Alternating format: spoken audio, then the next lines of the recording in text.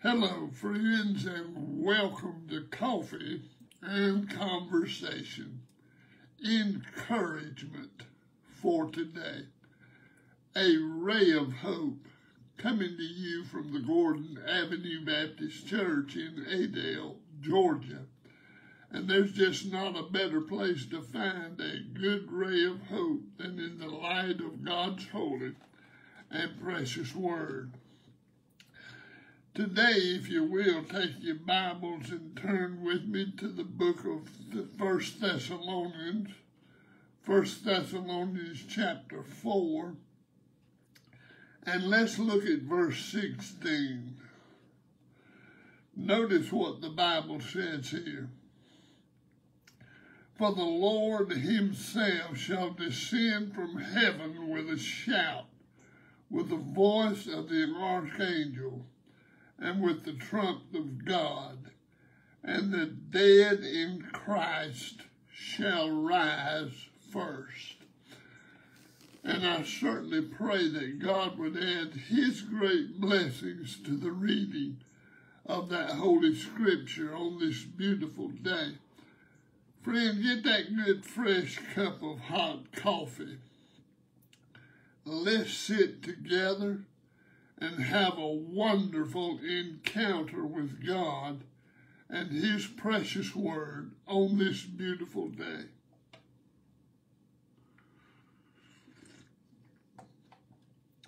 Well, amen. There's just not a better way to start a brand new day. Good, fresh, hot coffee and a fresh word from God. Today, friends, I want to bring to you a devotional thought titled Hope in the Lord. You know, friends, anyone standing by the graveside of a departed loved one or friend considers the questions that may arise. What do I believe about this event called death? Even knowledgeable Christians have to defend themselves against waves of sadness and longing by remembering the promises of the Lord Jesus Christ concerning faith and eternal life. Those promises Promises, my friend, based on the resurrection, give the Christian renewed hope that is sometimes clouded by grief. Now, Job asked the same question. He said, If a man dies, shall he live again? And of course, Jesus answered straight to the point Jesus said, He who lives and believes in me, though he may die, he shall live. He said that in John 11, 25. But the new first century believers living in a far flung place didn't have Jesus' words at hand. So they were often concerned about death. Paul wrote to the church in Thessalonica to assure them that when Jesus appears, the dead in Christ will rise first.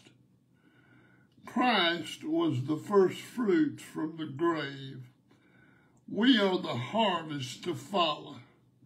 The grave of those who die in Christ is truly, my friend, a place of hope. Think about this. And now let's pray together. Father, we thank you so much for the promise of this scripture that we've looked at today. And we're grateful that he who lives and believes in Jesus shall never die. John 11, 26. And I pray that you'll help us remember that verse of Scripture. Jesus said that, and then he closed that verse of Scripture out saying to us, Believest thou this? And Lord, I believe it with all my heart. And I thank you for that verse of Scripture.